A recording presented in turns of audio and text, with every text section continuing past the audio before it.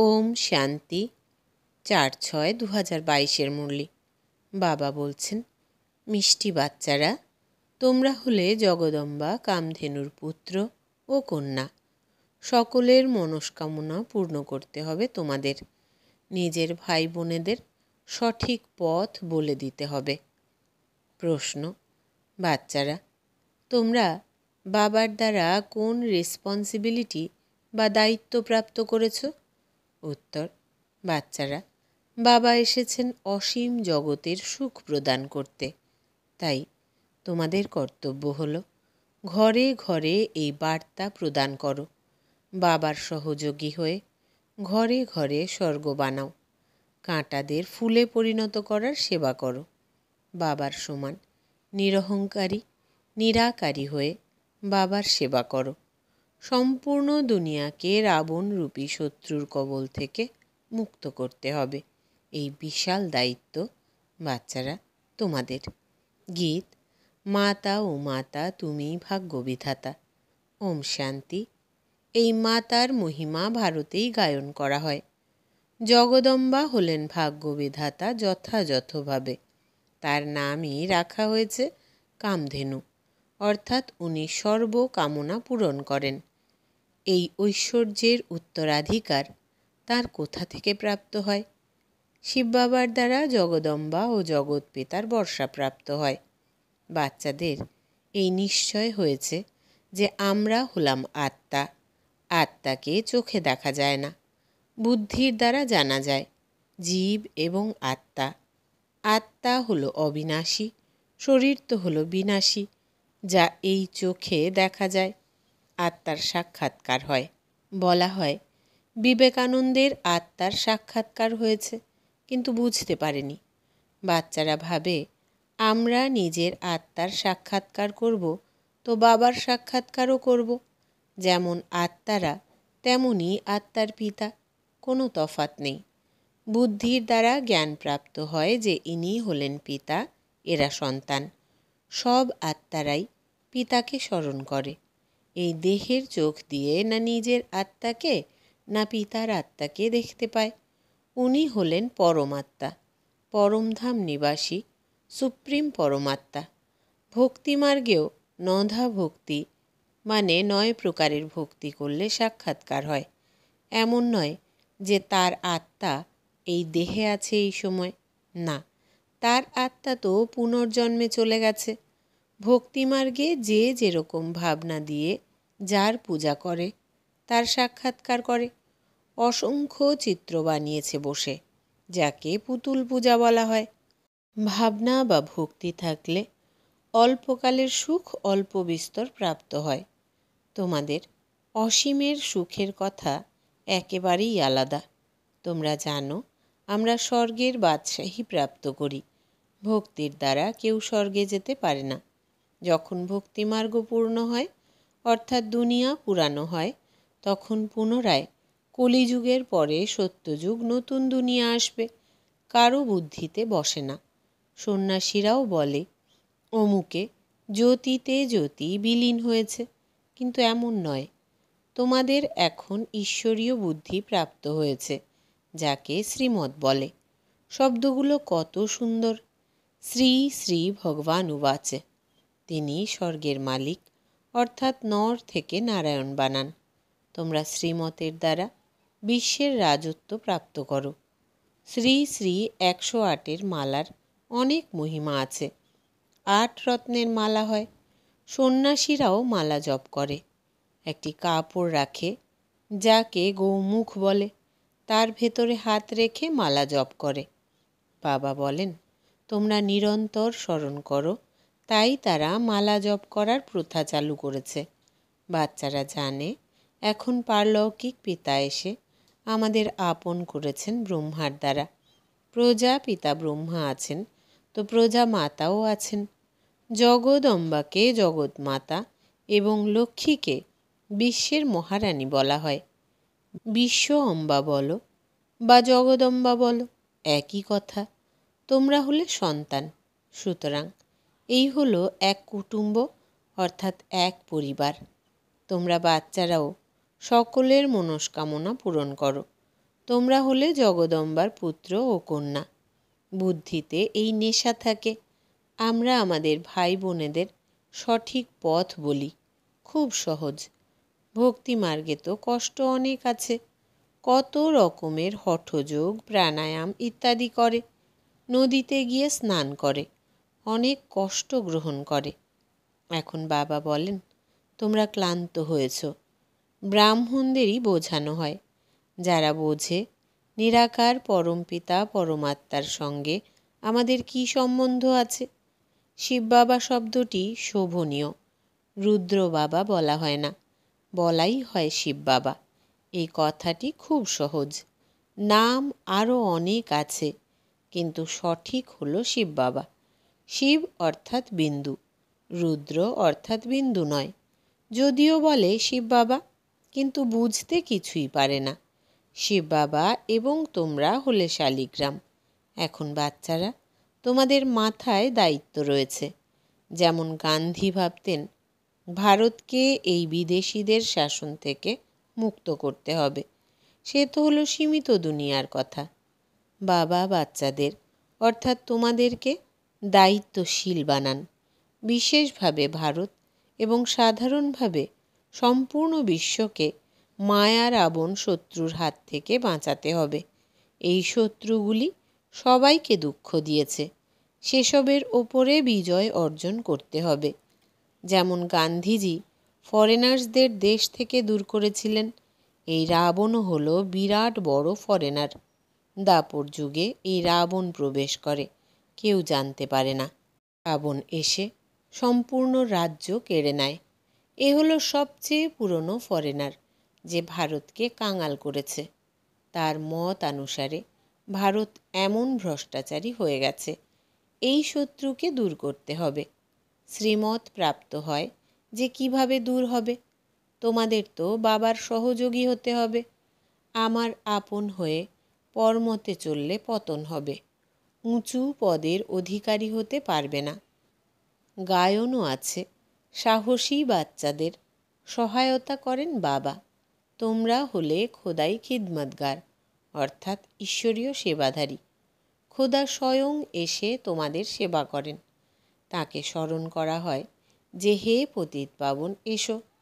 সেবা যে করে, তাকে সার্ভেন্ট বলা হয়। বাবা হলেন কতখানি নিরহংকারী, নিরাকার নিরহংকারী নির্বিকারী হতে শেখান।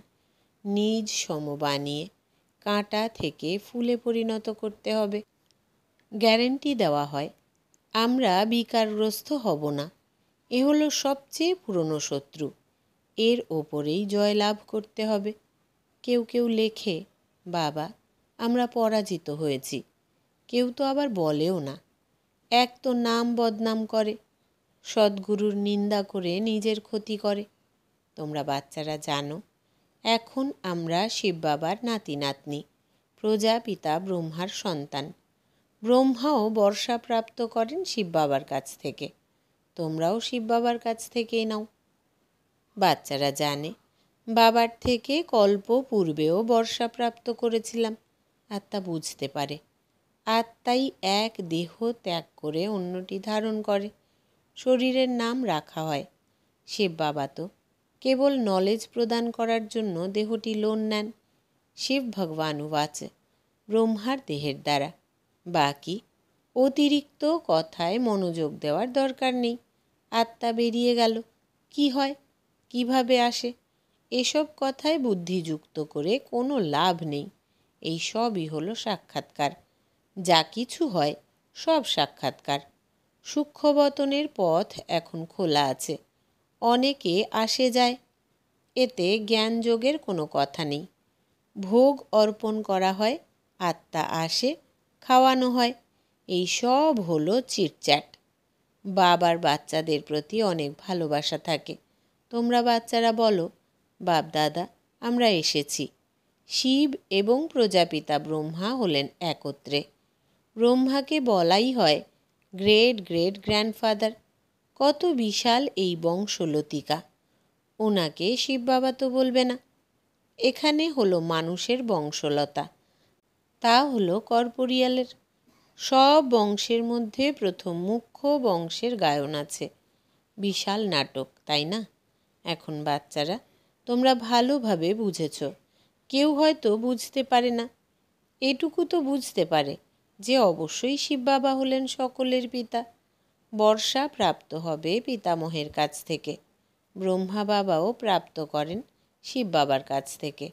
আচ্ছা ব্রহ্মাকেও ভুলে যাও। আশীর্বাদ অনুষ্ঠান হয়ে গেছে। আর বাকি কি আছে? তারপরে মিডিয়েটারকে স্মরণ করে না। ব্রহ্মা বাবা হলেন মিডিয়েটার। এনগেজমেন্ট করান। বলেন, হে বাচ্চারা আত্মাদের সঙ্গে কথা বলেন। আত্মা স্মরণ করে। বাবা এসে আমাদের পবিত্র করো। বাবা বলেন, আমাকে স্মরণ করো, তো তোমরা পবিত্র হতে থাকবে এবং এছাড়া আর কোনো উপায় নেই। শান্তিধাম থেকে পুনরায় তোমাদের স্বর্গে পাঠিয়ে দেব। এটা হলো পিত্রালয়, ওটা হলো শ্বশুরালয়। পিতৃগৃহে গহনা ইত্যাদি ধারণ করে না, নিয়ম নেই। আজকাল ফ্যাশন হয়েছে। এই সময় তোমরা জানো, আমরা শ্বশুর গৃহে গিয়ে এইসব ধারণ করব। বিবাহের পূর্বে কন্যার সব গহনা ইত্যাদি প্রথমে খুলে রাখা হয়, পুরনো পোশাক ধারণ করে। তোমরা জানো, বাবা আমাদের শৃঙ্গার করছেন শ্বশুর গৃহে নিয়ে যাওয়ার জন্য। একুশ জন্ম, আমরা সদাকালের জন্য থাকব শ্বশুর গৃহে। হ্যাঁ তার জন্য পুরুষার্থ করতে হবে, পবিত্র থাকতে হবে। গৃহস্থ ব্যবহারে থেকে পদ্ম ফুলের মতো থাকতে হবে। এই হলো শেষ জন্ম। বাবা বোঝান, প্রথমে অব্যভিচারী শতপ্রধান ভক্তি ছিল। এখন তম প্রধান হয়ে গেছে।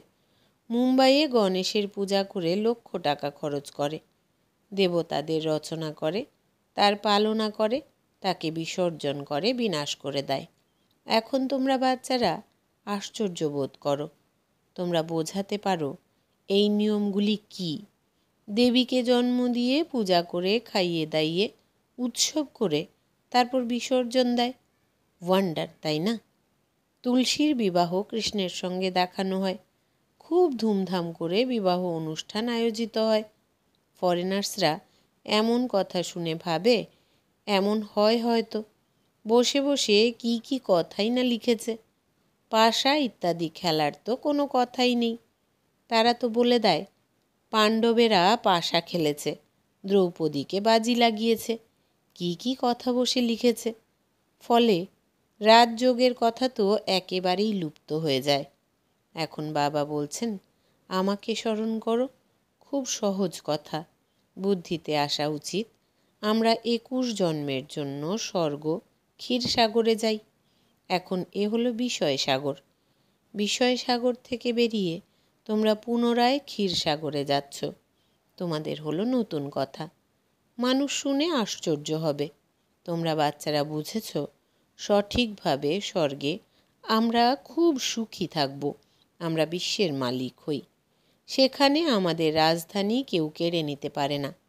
এখন তো কত পার্টিশান আছে, লড়াই করতে থাকে।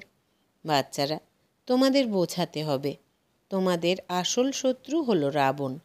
এই রাবণের ওপরে তোমরা কল্প কল্প বিজয় লাভ করো। মায়াজিৎ জগজ্জিৎ হও। এ হলো হার জিতের খেলা। তোমরা জানো, আমরা অবশ্যই বিজয় প্রাপ্ত করব। ফেল হতে পারি না। বিনার সম্মুখে দাঁড়িয়ে আছে। রক্তের নদী বয়ে যাবে। অনেকে অযথা মরে যাবে। একেই বলে নরক অথবা ভ্রষ্টাচারী পতিত দুনিয়া গেয়েও থাকে পতিত পাবন এসো। বাবা বলেন, যেমন তোমরা আত্মারা হলে স্টার, আমিও হলাম স্টার। আমিও, ড্রামার বন্ধনে আবদ্ধ। এই বন্ধন থেকে কেউ মুক্ত হতে পারে না। তা না হলে আমার কি দরকার যে আমি পতির দুনিয়াতে আসি? আমি তো পরমধামে থাকি, তাই না? এই ড্রামাতে প্রত্যেকে নিজের নিজের পার্ট প্লে করে। কোনো চিন্তার কিছুই নেই। এখানে তোমরা নেশায় নিশ্চিন্ত থাকো, একদম সিম্পল। বাবা কোনো কষ্ট দেন না। শুধুমাত্র স্মরণ করতে হবে এবং করাতে হবে। অসীম জগতের পিতা, অসীম জগতের সুখ প্রদান করতে এসেছেন। ঘরে ঘরে তোমাদের নিমন্ত্রণপত্র দিতে হবে। এইটুকু কাজ করতে হবে। বাচ্চারা, তোমাদের ওপরে বিশাল ভারী রেসপন্সিবিলিটি অর্থাৎ দায়িত্ব আছে। মায়াও দেখো, একেবারে সর্বনাশ করে দেয়। ভারত কতখানি দুঃখে আছে, দুঃখ মায়া দিয়েছে। এখন বাচ্চারা বাবাকে সহযোগিতা করে কাঁটাদের ফুল বানাতে হবে। তোমরা জানো, আমাদের এই ব্রাহ্মণ কুলে কি কি প্রকারের ফুল আছে। সার্ভিস করলে পদমর্যাদাও প্রাপ্ত হবে, না হলে প্রজাতে চলে যাবে। পরিশ্রম আছে না? অনেক বাচ্চারা সার্ভিসে যুক্ত আছে। অনেক কন্যারা সার্ভিস করার ছুটি পায় না। অর্থাৎ পরিবারে পারমিশন পায় না। অনেকে কষ্ট সহ্য করে, এতে সাহস চাই। ভয় পাওয়া উচিত নয়। বীর বাহাদুরি চাই। নষ্ট মোহ হতে হবে। মোহ কিন্তু কম নয়, ভীষণ প্রবল। ধনী পরিবারের হলে তো বাবা প্রথমে দেহ অভিমান নষ্ট করার উদ্দেশ্যে বলবেন, ঝাঁট দাও। বাসন মাজো। পরীক্ষা তো নেবেন, তাই না? আচ্ছা মিষ্টি মিষ্টি হারানিধি বাচ্চাদের প্রতি মাতা, পিতা, বাপদাদার স্মরণের স্নেহ সুমন আর সুপ্রভাত। আত্মাদের পিতা, ওনার আত্মারূপী বাচ্চাদেরকে জানাচ্ছেন নমস্কার। আমরা আত্মা সন্তানেরা, আমাদের আত্মা পিতাকে জানাই স্মরণের স্নেহ সুমন, সুপ্রভাত আর নমস্কার। ধারণার জন্য মুখ্যসার এক শ্রীমত অনুসারে সম্পূর্ণ সহযোগী হতে হবে। কর্মত বা মনমত অনুসারে চলবে না। নষ্টমোহ হয়ে সাহস রেখে সার্ভিসে যুক্ত হবে। দুই, এখন আমরা পিত্রালয়ে আছি। এখানে কোনো প্রকারের ফ্যাশন ইত্যাদি করবে না।